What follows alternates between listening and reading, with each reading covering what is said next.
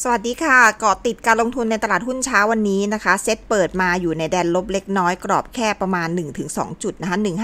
1527.64 จุดนะคะ ก็ต้อนรับเข้าสู่เดือนใหม่เดือนพฤษภาคมนะคะ ซึ่งตลาดสัปดาห์นี้จะเทรดแค่วันอังคารกับวันพุธเท่านั้นนะคะ มีวันหยุดค่อนข้างเยอะค่ะ วันนี้เปิดตลาดมาได้ไม่กี่นาทีวอลุ่มก็มาประมาณ 2,000 กว่าล้านบาทแล้วนะก็ไม่รู้ว่าถือว่าน้อยกว่าค่าเฉลี่ยไหมยังไงนะคะ ก็เดี๋ยวเราไปอัปเดตตลาดไปพร้อมกันรวมไปถึงทิศทางของราคาทองคำในตลาดโลกด้วยนะที่สวิงไปมาที่ 2,000 บวกลบนะคะ พูดคุยกับอาจารย์นิพนธ์กันค่ะ สวัสดีค่ะสวัสดีครับค่ะขอคำแนะนำสัปดาห์ที่มีวันหยุดเยอะๆหน่อยนะคุณนิพนธ์วันนี้วอลุ่มถือว่าเบาๆไหมคะเราต้องเข้าใจก่อนว่าตลาดปกติควรจะเป็นยังไงนะ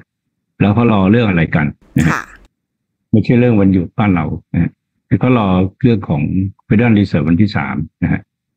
เพราะขณะนี้สัดส่วนในการเทรดในตลาดหุ้นบ้านเราต่างชาติเนี่ยเทรดเกินห้าสิบเปอร์เซ็นแล้วนะ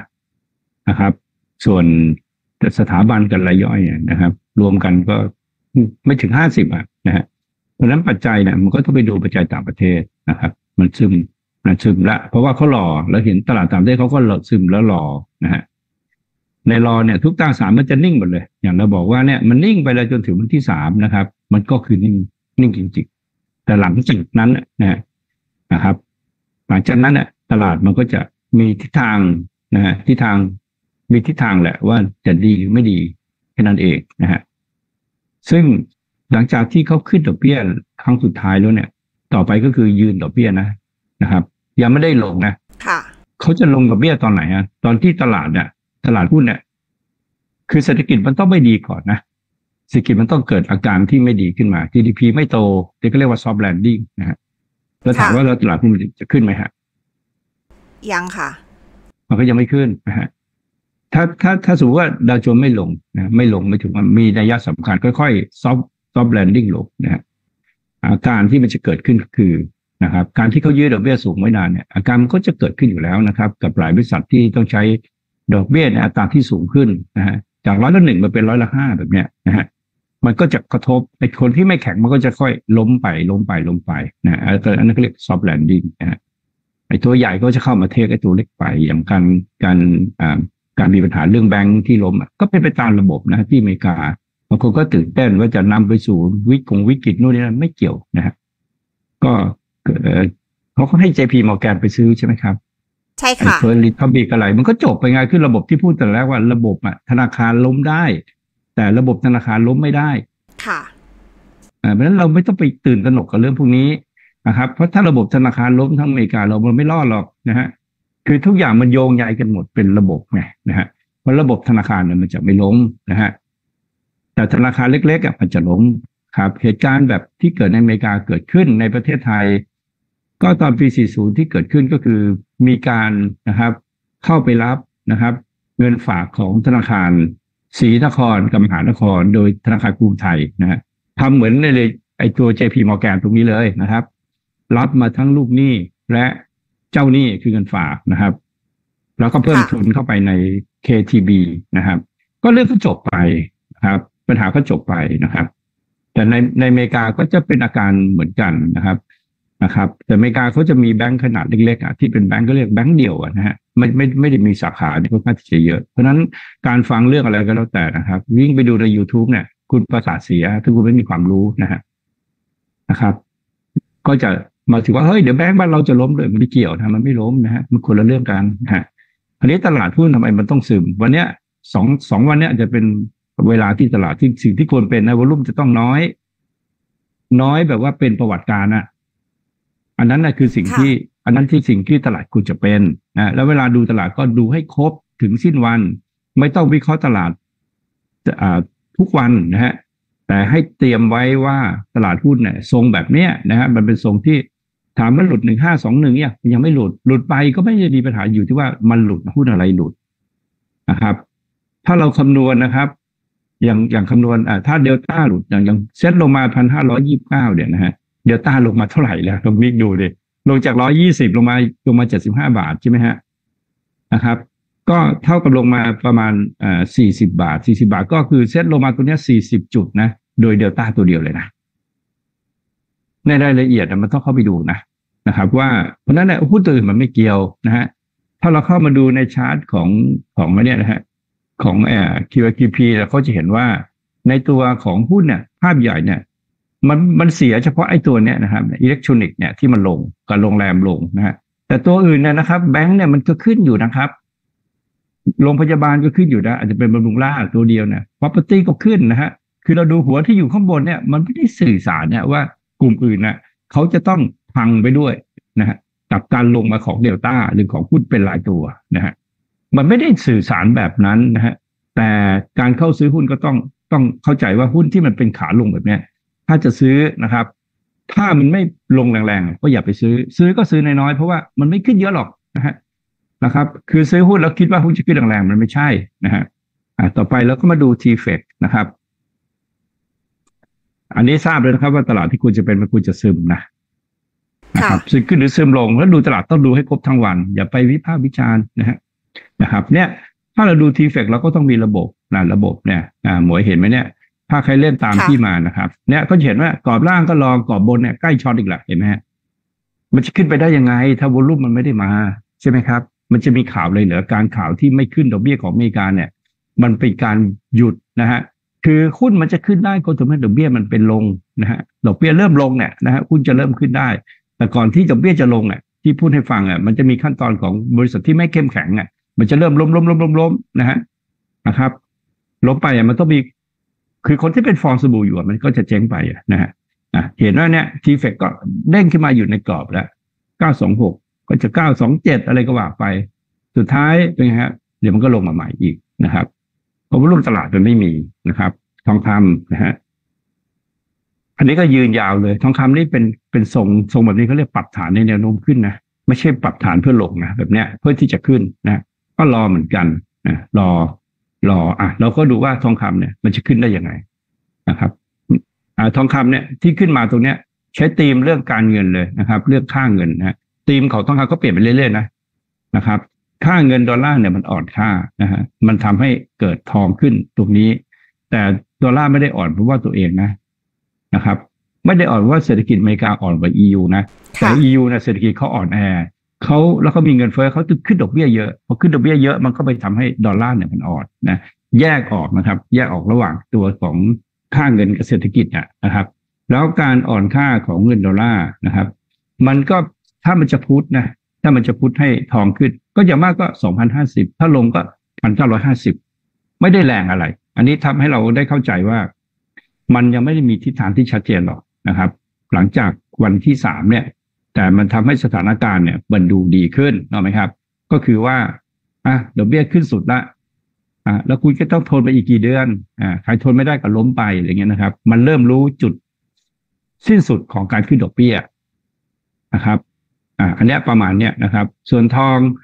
เดี๋ยวมันก็จะเป็นไปตามทิศทางของมันนะครับซึ่งค่าเงินดอลลาร์มันก็จะทรงอยู่เนี่ยร้อยหนึ่งร้อยห้าอยู่แบบเนี้ยทรงไปทรงไปซึ่ง ฉากสุดท้ายมันเป็นฉากที่ตอนที่มันเกิดอ่า GDP อเมริกาเริ่มไม่ดีเป็น soft landing หรือ hard landing อะไรก็แล้วแต่นะครับ มันก็เกิดที่ว่าการกระทบของการขึ้นดอกเบี้ยแล้วมาค้างอยู่ข้างบนนานๆเนี่ย คนที่ปรับตัวไม่ได้นะครับ มันก็จะเริ่มเจ๊งไปมันก็จะเกิดความกลัวเกิดขึ้นในระบบนะจังหวะนั้นเนี่ยถึงจะเป็นจังหวะของการซื้อหุ้นเพื่อการลงทุนนะซึ่งก็คาดว่าจะอยู่ประมาณเดือนสิงหาเนี่ยแหละ สิงหากันยาตุลาไม่ใช่ตอนนี้ เพราะฉะนั้นตอนนี้ก็คือ ถ้ารู้ว่ามันเป็นแบบนี้นะครับ ก็เล่นน้อยๆนะฮะก็ก็อย่าเล่นเยอะนะครับ ตราสารที่น่าที่น่าจะเล่นก็คือตราสารพวกฟิวเจอร์พวกเนี้ยนะฮะอนุพันธ์ได้ได้หมดต่างส่วนใช่แต่หุ้นเนี่ยพอเราเล่นอนุพันธ์เราก็เอาเงินแค่สิบเปอร์เซ็นมาเล่นนะฮะส่วนหุ้นเนี่ยมันไม่ได้เสียสักทีเดียวนะในตลาดหุ้นบ้านเรานะครับ เราก็จะต้องมาเลือกดูว่า เราสนใจหุ้นอะไรนะฮะแล้วถ้ามันไม่ได้ลงแรงๆแบบเนี้ยมันง่ายไหมฮะการที่จะไปซื้อหุ้นวันเนี้ยๆค่ะมันง่ายนะฮะการซื้อหุ้นเนี่ยมันต้องซื้อตอนที่มันยากนะฮะอ่า แบงค์เนี่ยพี่ก็บอกว่าหุ้นแบงค์มันดีอะวันนี้ก็เอา BBL กับ K Bank มาเห็นไหมครับ ว่าหุ้นมันไม่เกี่ยวนะมันไม่เกี่ยวกับเดลต้ามันไม่เกี่ยวกับเซตไงนะครับ เพราะฉะนั้นเนี่ยถ้าเราจะเรามีหุ้นแบงค์อยู่เราก็ถือต่อไปได้นะครับ BBL K Bank SCB KTB อะไรก็ได้ก็ถือต่อไปได้นะฮะแต่จากคาดหวังกำไรเยอะๆเนี่ยไม่ได้นะฮะนะครับ ส่วนโรงไฟฟ้าเนี่ยก็แนะนำมาก็ GPSC g a f b g m ก็เสียหายอะไรนะฮะ อ่าส่วนของตัวของอ่าค้าปีกก็มี CPO กับกับแมคโครนะครับ ก็ก็ประมาณเนี้ยมันเป็นหุ้นใหญ่ๆก่อนนะครับ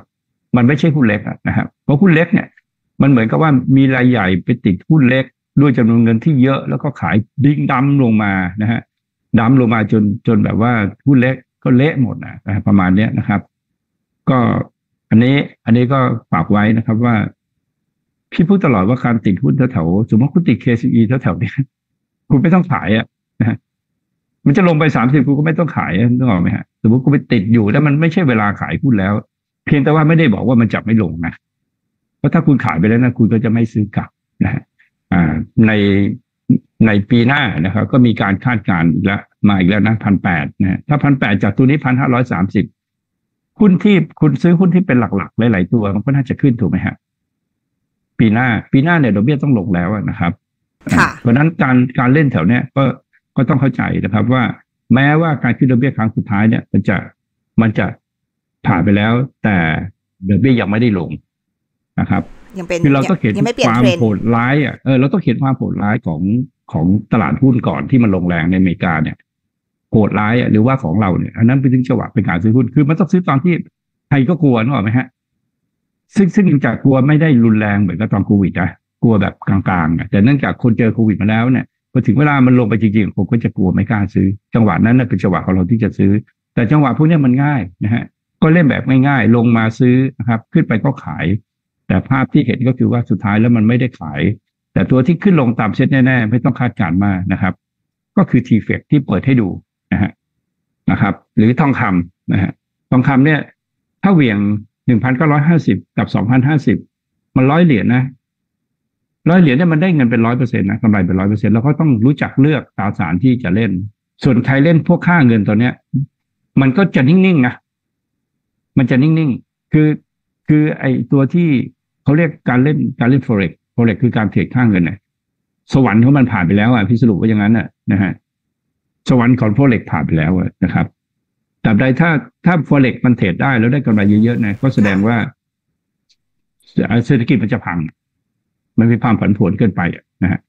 เงินตอนนี้ก็ชัดเจนแล้วก็ก็เข้ามาสู่ระบบแล้ว เงินเริ่มไหลจากดอลลาร์เนี่ย ตลาดเงินไปสู่ตราสารนี่แหละ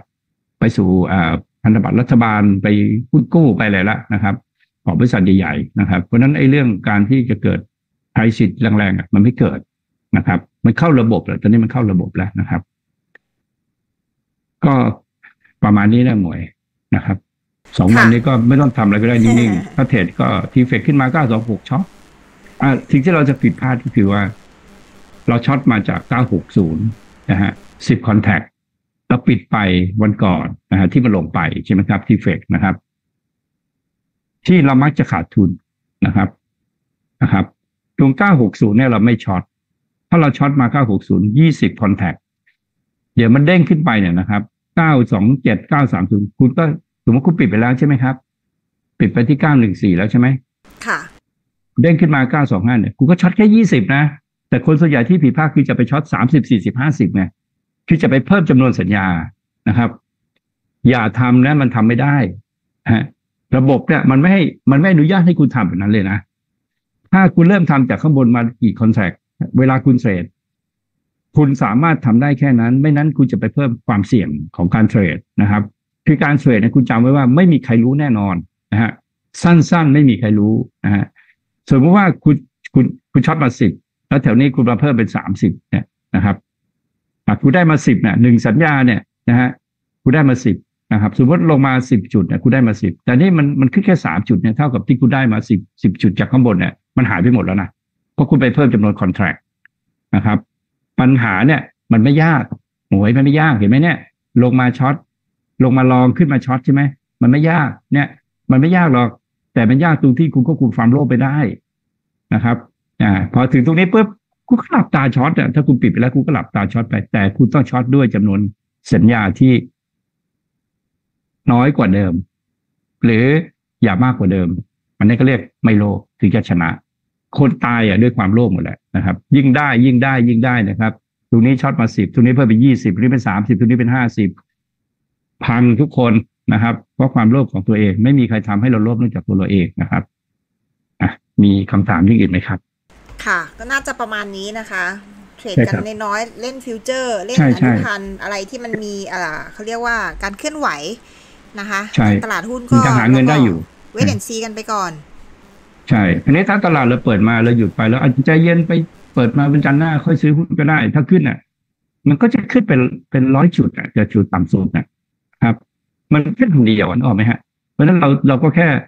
สมมติว่าเราปิดเราปิดตลาดสองวัน เราไม่มีอะไรเลยก็ได้ แต่เรามีหุ้นดีๆอยู่ส่วนสมมตินะถ้าใครยังไม่มีเลยก็ก็มีได้แต่ก็ตัดสินใจไงว่า ถ้ามันเกิดเปิดมาวันจันทร์หน้าเนี่ย แล้วมันขึ้นขึ้นมาเนี่ย คุณก็ต้องตัดสินใจซื้อราคาไหนก็ได้ ถ้ามันมีสัญญาณซื้อแล้วนะครับ ซึ่งมันอาจจะไม่มีก็ได้นะครับค่ะเราเข้าใจนะครับ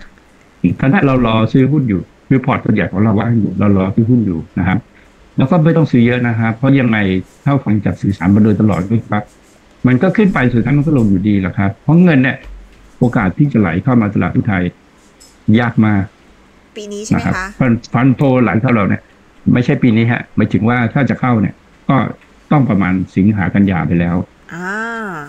แต่พวกเนี้ยเขาคือมันยากอะเพราะว่าอะไรเพราะมันมีสิ่งที่เปรียบเทียบในหุ้นเนี่ย คือเงินไหลตลาดหุ้นบ้านเราสังเกตไหมครับว่า ตอนที่ดาวโจนส์เขาขึ้นไปหลังหลังจากโควิดเนี่ยดาวโจนส์ขึ้นยุโรปขึ้นเนี่ยฝรั่งไม่ได้มาซื้อหุ้นบ้านเราเลยแต่ฝรั่งมาขึ้นตอนที่ดาวดาวโจนส์มันขึ้นอิ่มแล้วแล้วก็ถึงมานึกออกไหมฮะ ค่ะ เออนะครับ คือเขามองเราไปเทสเพชรเว้นของเรื่องอัตราแลกเปลี่ยนนั่นแหละ บางกลุ่มนะ ไม่ใช่ทั้งหมดทั้งโลกนะเหตุผลในการเข้าซื้อหุ้นมันมีหลายเหตุผลใช่ถูกต้องฮะค่ะเพราะว่าเราเราเราเนี่ย เราเราอยู่ในสภาพเหมือนถูกคุ้มครองตลอดแต่คนที่เขาเทรดทั้งโลกเนี่ยเขาเขาไม่ได้คุ้มครองเรื่องอัตราแลกเปลี่ยนออกไหมฮะเพราะฉะนั้นถ้าเขาทำได้อะนะฮะเขาก็สามารถที่จะอย่างดอลลาร์แข็งเนี่ยเขาก็ย้ายเป็นดับโจนใช่ไหมครับ ถ้าดอลลาร์อ่อนเขาก็ย้ายมาที่เซตเพราะเซตเนี่ยมันเป็นเป็นเขาเรียกอัตค่าเงินของเราอะมันค่อนข้างมีเสถียรภาพนะไม่ถึงว่าถ้าเราเทียบกับค่าเงินของประเทศอื่นๆนะเรามีเสถียรภาพเยอะนะนะครับคืออัตราแลกเปลี่ยนเป็นการเป็นการลงทุนที่อะไรที่ข้ามประเทศอัตราแลกเปลี่ยนเป็นปัจจัยที่สำคัญอันดับแรกที่ต้องพิจารณาเลยนะ ว่าประเทศไหนน่าไปลงทุนไม่มากอะไรอย่างนั้นนะครับต้องดูอัตราแลกเปลี่ยนเลย ซึ่งประเทศไทยเนี่ยมันเหมาะกับการเงินครับ แต่ไม่ได้เหมาะกับการลงทุนในตลาดหุ้นเท่าไหร่นะนะครับประมาณนี้นะฮะค่ะ ได้ค่ะ กราบขอบคุณคุณนิพนธ์มากๆเลยนะคะขอบคุณดีสควัสรับดีค่ะ โดยประมาณนี้นะคะสำหรับตลาดหุ้นบ้านเรานะคะ หยุดหยุดหยุดเยอะนะคะ แล้วก็เอ่อเทรดน้อยนะคะ เพราะฉะนั้นก็อาจจะต้อง ปรับกลยุทธ์กันนิดนึง ช่วงนี้เทรดตลาดอนุพันธ์กันไปก่อนนะส่วนตลาดหุ้นก็รอก่อนสัปดาห์หน้าค่อยมาว่ากันนะคะ สัปดาห์นี้ก็จะมีปัจจัยเรื่องของต่างประเทศนะคะการประชุมของ FOMC ที่ต้องจับตานะคะเพราะฉะนั้นเดี๋ยวเราไปคุยกับอีกหนึ่งท่านเพื่อกำหนดกลยุทธ์พร้อม ๆ กันค่ะ